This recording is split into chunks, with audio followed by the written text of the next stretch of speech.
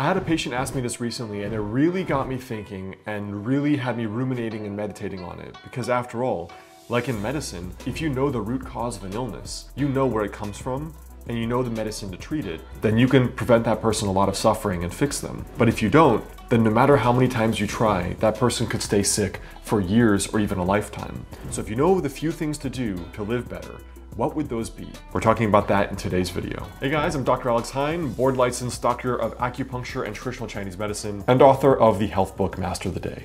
Let's jump in. You know, when I think about people today, when you look at people around you, what is the way that they're living? And I thought about really my own life. I mean, my story is the story of a lot of professionals that have sort of the same issues that other professionals have. When I get up in the morning, sometimes I'm thinking, do I check my phone and social media or my email, or do I not? And sometimes I scroll through for 30 minutes and I feel really unhappy because I could have had 30 minutes to meditate instead of going through some random Instagram video. Other days, I go to a cafe for the first 90 minutes of the day and I study medical topics and medicine overall, and then I'm ready for the patients that I see the rest of the day. And then on my lunch break, I feel that little ADD tick again. Do I just check the phone? Do I just dip my toe in the pool of social media or of my email, or just to see if there's a little dopamine hit from someone that reached out to me. And then I go through a long work day. Some days it's very stressful. And then at night I go home and I think, did I actually do enough today? So you know what? I go home, I have dinner, and then for another two hours, from 8 p.m. until 10 p.m., I work on my business a little bit more. I feel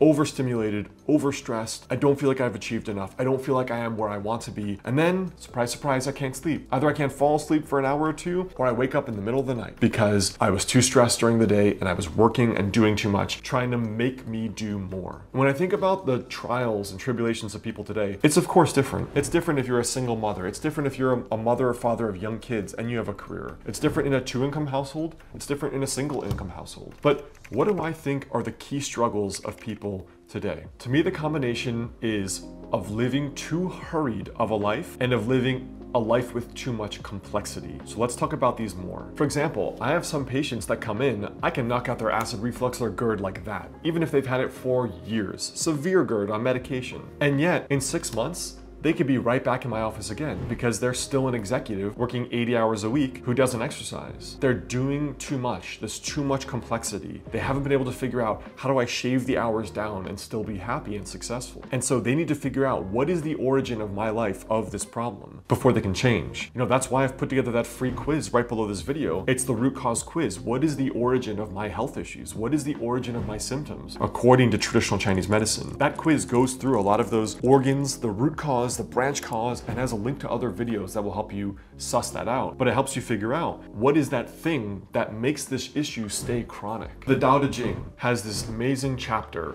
67, that talks a lot about simplicity. And I want to read it to you here because I think it'll help. It says, I have three things to teach. Simplicity, patience, and compassion. These three are your greatest treasures. Simple in actions and in thoughts, you return to the source of being. Patient with both friends and enemies, you accord with the way things are. Compassionate towards yourself, you reconcile all beings in the world. I was in the Philippines a couple years ago, and as I was just walking around in a very remote part of the Philippines where people were looking at the only white boy some had ever actually seen. And there were these kids playing soccer, and they were all laughing and having fun. They had tattered shirts and tattered shorts. The homes and the little stores looked just disheveled. But I noticed that these kids were running around having such a good time. Big smiles on their faces. That day they had smiled probably more than I had in the last month. And it really got me thinking about what makes people happy and what makes life fulfilling and really worthwhile, worth it at the end of the day. So I asked one of the mothers and I said, what is most important to you in life? What is the reason that you live? And she just said, it's family. Like as long as I have my family, she said, everything is okay. She didn't mention her health. She didn't mention financial success. She didn't mention writing a book. She didn't mention traveling to Australia or New Zealand every summer. All she said was having her family. And it made me think about what Lao Tzu said in the Tao Te Ching about simplicity. If your only major focus in life is your family. That's so much easier not to mess up and not to be confused about your priorities and not to be confused about how to spend your time, not to be confused about working 80 hours a week in some job in New York City and claiming your family's priority when it probably isn't if you're working 80 hours a week. If your family were your priority, maybe you wouldn't be doing that and you'd just earn less money and spend more time home. The simplicity of that answer reminded me of focus. And if you're focused on what is most essential and most important to you in your life, it is very easy relatively, to do what is important and to live a life aligned and congruent with what you say is important because it's so clear and so simple.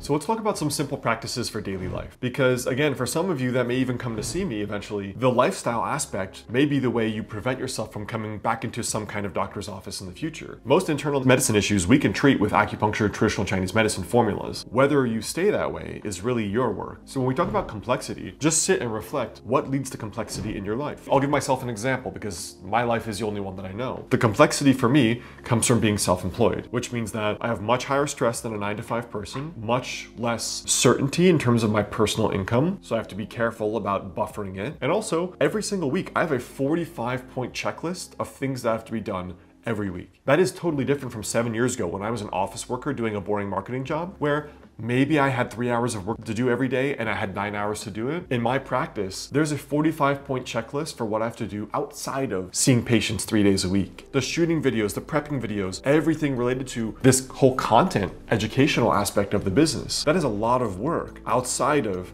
seeing patients. So for me, the complexity exists only in my career life. My practice is how can I make my business as simple as possible, as low stress as possible, as streamlined as possible, and bring in as many other people to hire in that help that will make this much, much easier for me. For me, the complexity is how can I make my career and business life as simple as possible? That becomes my focusing question. For you, it may be that you're a mom who has young kids, but you're also driven and you're pushing yourself to succeed. And you feel this tug and this mom guilt because you're always being like, how can I be more successful? And how can I be a better mother who's around? You're gonna have to figure out what is the simplest way I can succeed, or maybe it means lowering the bar for now, for the next couple of years. Or maybe it means becoming self-employed so that in six hours a day or four hours a day, you could have the same money money that you'd make working nine or 10 hours a day. You can do that as an entrepreneur. Figuring out what leads to the most complexity in your life and trying to chop away at that. Now, what about when it comes to living a hurried or rushed life? When it comes to living a hurried or rushed life, I would challenge everyone to think about what is most important. For example, I noticed that I push myself to do a lot because I want to achieve a lot. And why do I want to achieve a lot? Because I want to be successful. And why do I want to be successful? Because it makes me feel good about myself. Why does it make me feel good about myself? Because it makes me feel like a somebody, not just someone who's living a life of the status quo, accepting their lot in life and they're content with every day being the same for 70 years. So for me, it's really a self-esteem route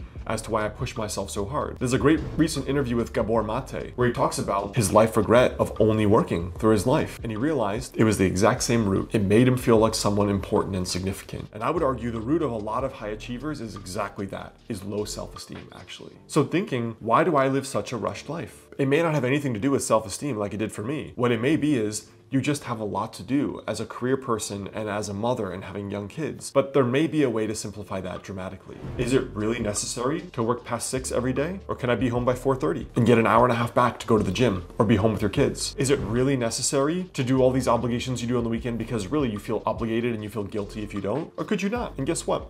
Maybe some people will judge you, but you're gonna be a lot healthier and happier. So think about what is causing the rushing? Is it just an emotional thing, a drive to succeed? Or is it a logistical thing? And you can find other ways to work on that. So just a practical philosophical rant today for you guys that I think will help you think about why is it that we are often so chronically ill from an emotional point of view, a lifestyle point of view, right? A lot of what we have today are what are called diseases of affluence, diseases of the modern world. So think about that. Now, if you guys want to work with me personally, I see a limited number of new patients every month in my clinic in Los Angeles or virtually via telemedicine. So you can just check out the info for my clinic in the description of this video, or just go to dralexheyne.com forward slash clinic to reach out. And also, there's another specific habit we didn't talk about here that leads to a lot of these same health issues, and I covered it in this video over here.